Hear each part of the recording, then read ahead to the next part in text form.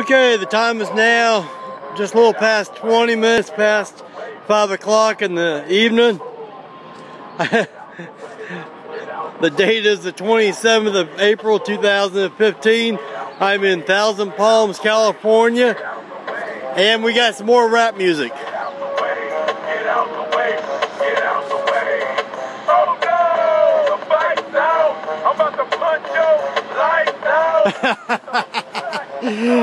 Guys, I've been all around this country, not once have I ever been to Flying J where they're playing rap music on Pandora. This is pretty radical. I love it. I mean, here they are playing Dre and Eminem earlier, and now this. this is crazy. I'm gonna get out of here, guys. Uh, I tried sitting in the uh, truckers lounge in here, and my eyes started bleeding. They were in there watching this fake wrestling crap in there, and I just can't.